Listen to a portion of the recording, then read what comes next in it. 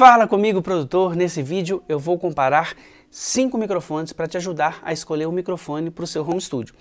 Esse vídeo vai servir para você que quer comprar seu primeiro microfone e está indeciso em qual comprar. Ou, se você quer fazer um upgrade no seu setup, esse vídeo vai te ajudar também. Ou seja, fica aqui comigo até o final que eu tenho certeza que esse vídeo será muito útil para você. Comprar equipamentos é um passo muito importante na montagem de um estúdio ou um home studio. Mas antes de falar de equipamento, queria te lembrar de algo tão importante ou até mais importante do que a compra de equipamentos: a busca por conhecimento. Bom, eu sei que você está aí vagando pela internet, buscando informações, buscando aprender mais, mas ao invés de aprender, está ficando cada vez mais confuso, não é mesmo? E por que, que eu sei disso? Bom, porque eu já estive exatamente nesse lugar que você está hoje. Foi exatamente pensando nisso, em ajudar quem está nessa busca por conhecimento, que eu criei a Academia do Produtor Musical. A Academia do Produtor Musical é uma plataforma de ensino de produção musical estilo a Netflix.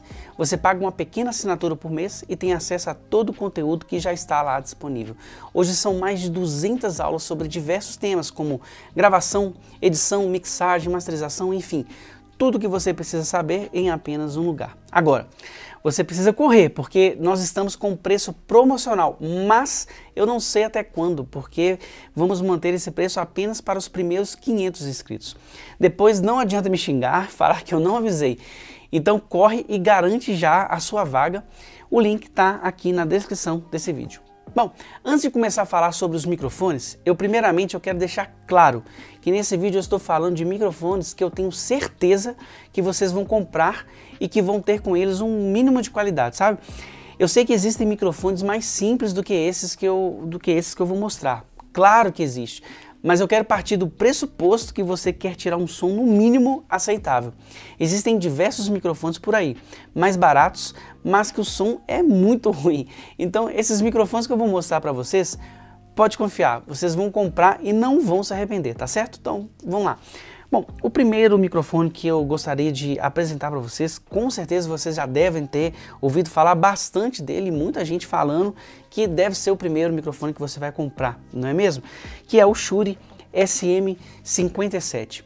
Gente, por que, que a galera fala que esse tem que ser o primeiro microfone que você vai comprar? Porque ele é o Severino do estúdio, ele vai servir para praticamente tudo que você né, vai fazer. Ele serve para gravar voz, serve para gravar instrumento. Eu já gravei backing vocal com eles e além disso, né, a construção desse microfone. Isso aqui é um tanque de guerra. Se você tomar cuidado, não queimar o microfone, né, esse microfone ele vai durar por muito tempo, tá? Então tá aí, o Shure SM57. Além disso, tá, gente, uma coisa que eu gostaria de falar, eu acho que para quem está começando, tem um home studio que não tem uma acústica é, adequada, um dinâmico sempre é uma boa opção, né? Porque aí quando você estiver gravando, é, é, um microfone dinâmico, ele é mais duro e menos sensível que um microfone condensador. Então, é, por exemplo, se você estiver gravando e o cachorro do vizinho latir, se você não tem uma acústica adequada, vai sair na gravação se você estiver usando, por exemplo, um condensador. No dinâmico é muito difícil que isso aconteça, tá certo? Então tá aí também a primeira escolha. Bom, um outro microfone que eu gostaria de indicar para vocês, que ainda está na categoria dos dinâmicos, foi um microfone que eu, inclusive, eu adquiri recentemente, que é esse Pod Mic aqui. Gente, pensa assim numa grata surpresa que eu tive ao, adquirir esse microfone. Ele não é um microfone tão caro assim pela qualidade e robustez dele. Gente, eu, pegando esse microfone aqui, a gente vê o quanto que ele, ele é robusto, porque ele é pesado, a construção dele é muito boa e além disso o som dele é muito bom. Eu já gravei bumbo com ele, já gravei voz ao vivo, assim, né? É, podcasts também, né? O pessoal usa muito em podcast. Na verdade, ele é um, é um microfone que foi feito para podcast, né? Ele chama PodMic, né? O nome dele, né? Mas enfim, é um microfone muito robusto que vai servir também para você gravar outras coisas a não ser voz, tá? É um microfone muito bom, eu fiquei muito surpreso.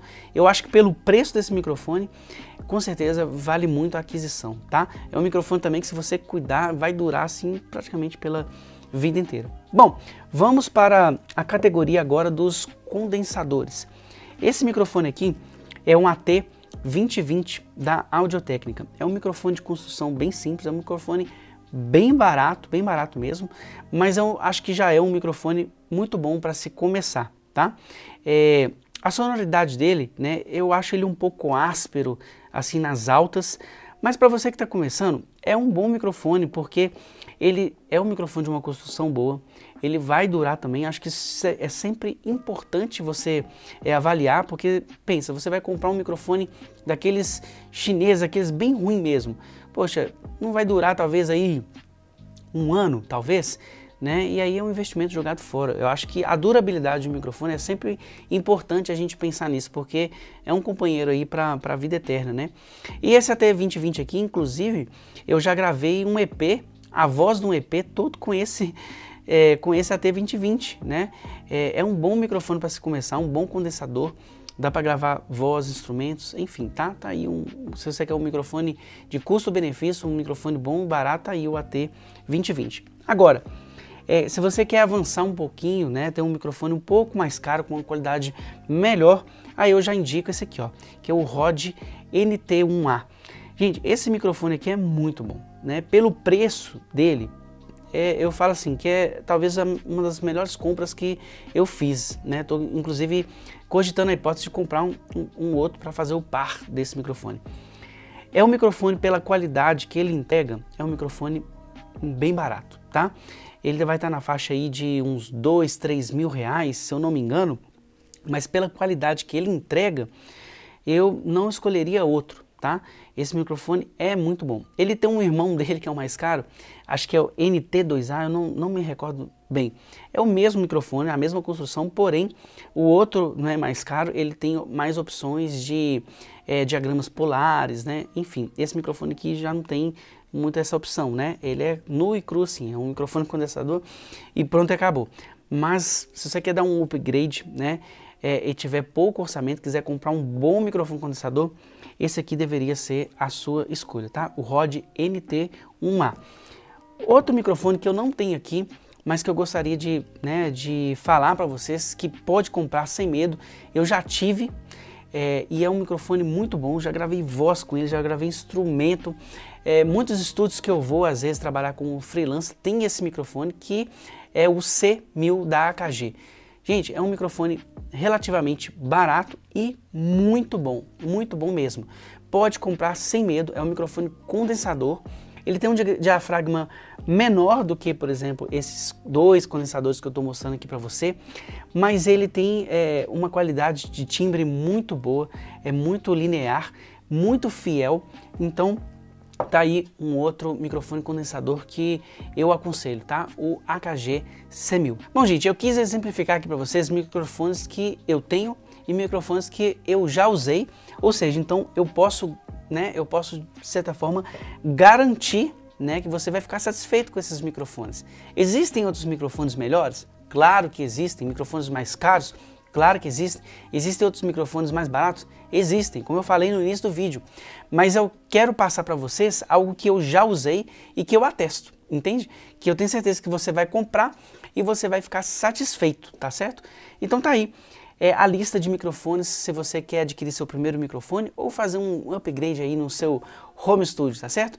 Bom, se esse vídeo foi importante para você, se esse vídeo te ajudou a decidir um pouco aí sobre os microfones, abrir um pouco talvez sua mente, talvez você tenha visto outros microfones, né? É, se esse vídeo te ajudou, não deixe de deixar seu joinha e curtir esse vídeo, porque pode ajudar mais pessoas, né? O YouTube entende que esse vídeo foi importante para você e ele pode ser importante para outras pessoas. Se você ainda não é inscrito no canal, se inscreva, não deixe de se inscrever, ativar o sino de notificações, porque aqui a gente tem vídeo praticamente todos os dias da semana para te ajudar a desenvolver nessa área de produção musical, tá certo? O meu muito obrigado e até o próximo vídeo.